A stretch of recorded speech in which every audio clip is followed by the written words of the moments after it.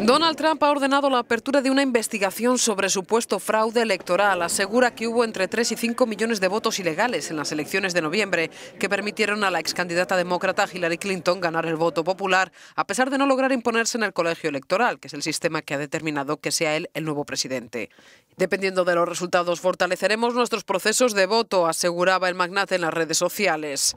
Antes de su victoria, Trump ya había denunciado en múltiples ocasiones que las elecciones estaban amañadas a favor de Hillary Clinton por el voto masivo de millones de inmigrantes indocumentados, además del sufragio de muertos y de personas que ejercían su derecho en dos estados o más.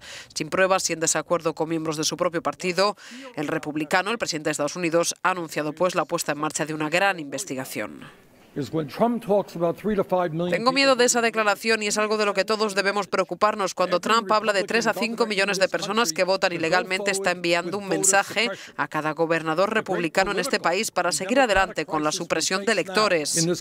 Y la crisis democrática que enfrentamos ahora en este país no es un fraude electoral, es la supresión de electores.